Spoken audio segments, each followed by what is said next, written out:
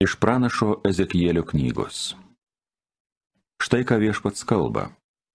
Jeigu kaltasis nusigręš nuo savo darytojų nuodėmių, pradės laikytis mano įsakymų, elgsis dorai ir teisingai, tada jis liks gyvas, nemirs.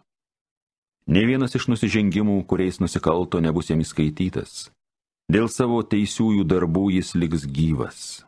Nejaugi aš trokštų, kad mirtų kaltasis, tai sako viešpats. Ar jis neliks gyvas, jeigu pames paliktuosius kelius ir atsivers? O jeigu teisusis nustos sažiningai gyvenęs, pradės neteisingai elgtis, darys visas tas baisybės, kurias ir bedievis daro, nejaugi tada jis liks gyvas? Ne vienas iš jo teisiųjų darbų nebus jam įskaitytas.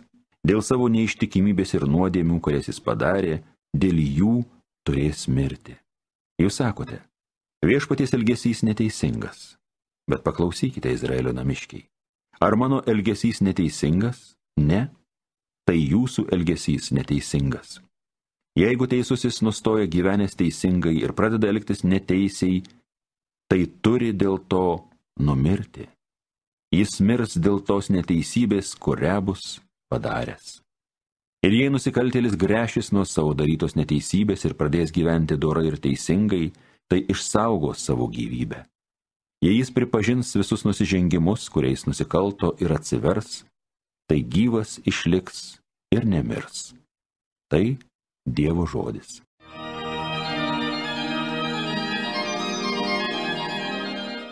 Jei vis nedorybės minėsi viešpatie, viešpatie, kas be galės išsiteisint.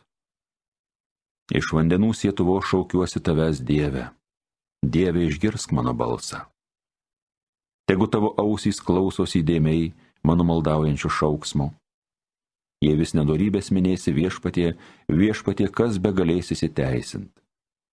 Jei vis nedorybės minėsi, kas be galės išsiteisint, betgi tu atleisi kaltybės ir vėl tau tarnausim. Jei vis nedorybės minėsi viešpatie, viešpatie, kas be galės išsiteisint. Dieve, tavi mano viltys, tavo žodžių pasitikė mano siela, Mano siela viešpaties laukia labiau kaip aušros panaktiniai. Labiau kaip aušros panaktiniai tegul laukia viešpaties Izraelis. Jei vis nedorybės minėsi viešpatie, viešpatie, kas be galės išsiteisinti. Juk Dievas yra gailestingas, jis visuomet išvaduoja, jis tikrai savo tautą išgelbės iš visų nedorybių. Ir jei vis nedorybės minėsi viešpatie, viešpatie, kas be galės išsiteisinti. Šlovėtau Kristau, amžinosios garbės karaliau.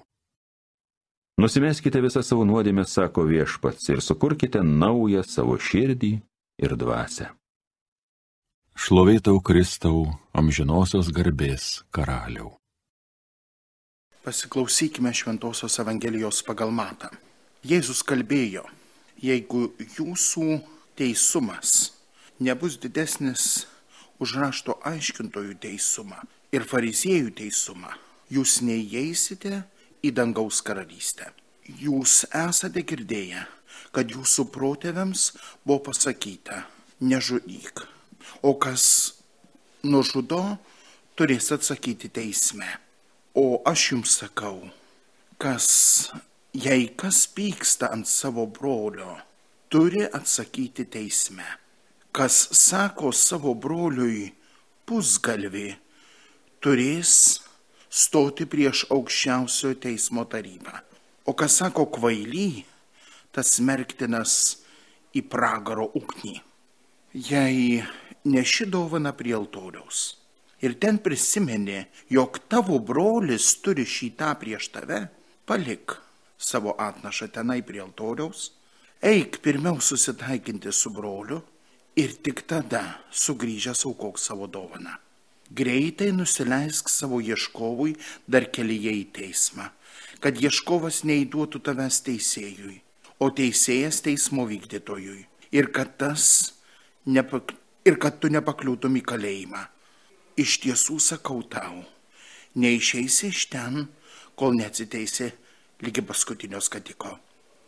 Girdėjome viešpatie žodį.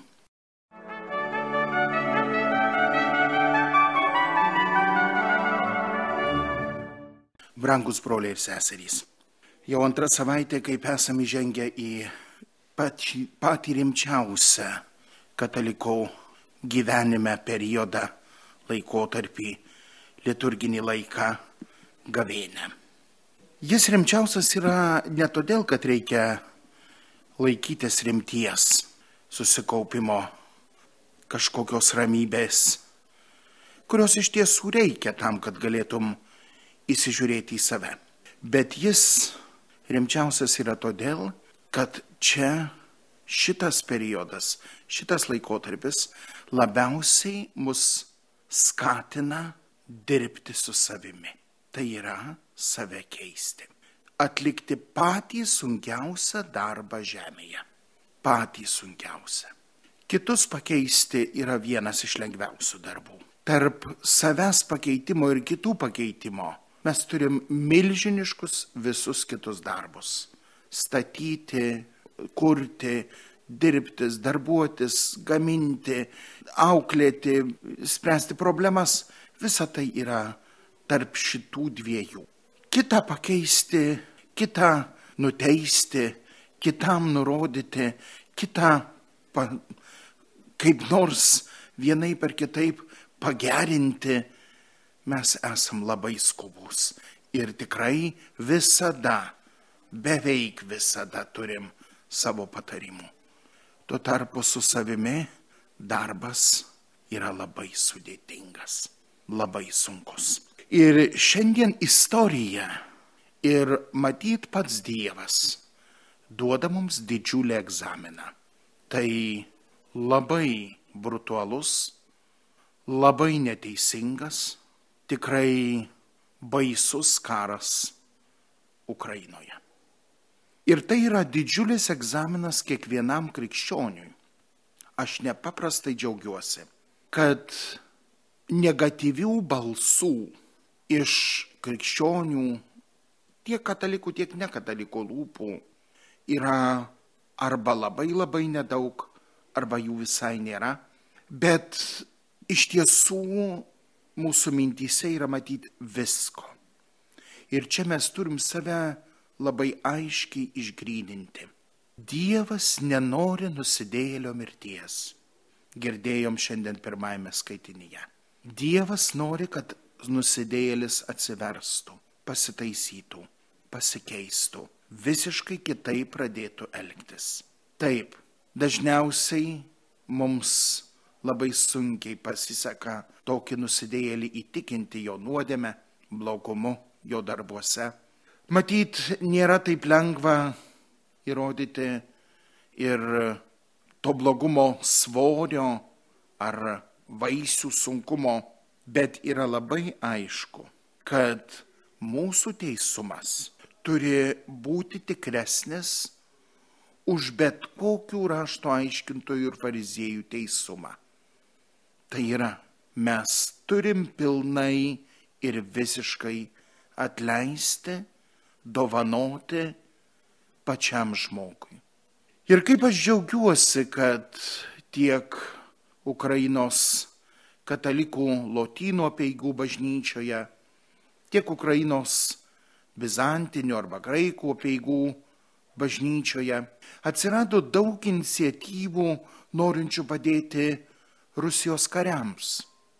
Ne technikai, ne raketoms, ne karui, ne um, veiksmams, bet žmonėms, kurie gal vieni truputį labiau suprasdami, gal kiti mažiau suprasdami, didžioji dauguma matyti visai nesuvokdami, ką daro, yra įpainioti į tą didžiulę karo pragaro ugnį. Ir bažnyčia ateina jiems į pagalbą. Mes su savaja, savuoju būdu, pirmiausia malda. Aš dažnai pagalvoju, kodėl 1917 metais Marijai kreipiantis į piemenelius Fatimoje šešis mėnesius iš eilės. Ir viename iš šitų kreipimusi prašant Rusijos atsivertimo po 104 metų, po 105 jau dabar beveik metų, to atsivertimo vis dar nėra.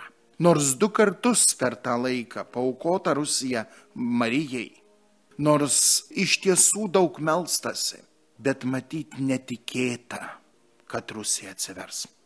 Štai čia yra didžiausia bėda mūsų maldose. Mes melžiamės, sukalbam, padarom, bet kiek įdedam pilno pasitikėjimo Dievo galybę, Marijos galingumo, Jėzaus veikimo, meilės veikimo, gailestingumo veikimo. Dažniausiai norim, kad po mūsų maldos atsitiktų taip, kaip mes numatėm. Nubaustų kaltuosius, išlaisvintų nekaltuosius. Bet ne to nori Marija. Ji nori meilės. Meilės tarptų dviejų slavų tautų, kurios neatskiriamos daugelį, daugelį šimtmečių buvo. Šiandien ir mes, įsijungdami į šitą procesą, sakyčiau, į dvasinį karą, pirmiausia, jį turim nugalėti savyje, turėdami meilės troškimą tiems, kurie skriaudžiami ir tiems, kurie skriaudžia.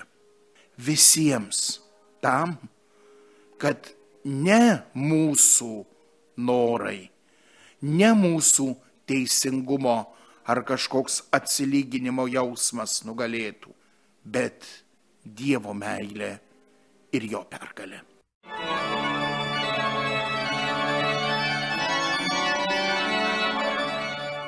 Homilija sakė kunigas Arūnas Kesilis.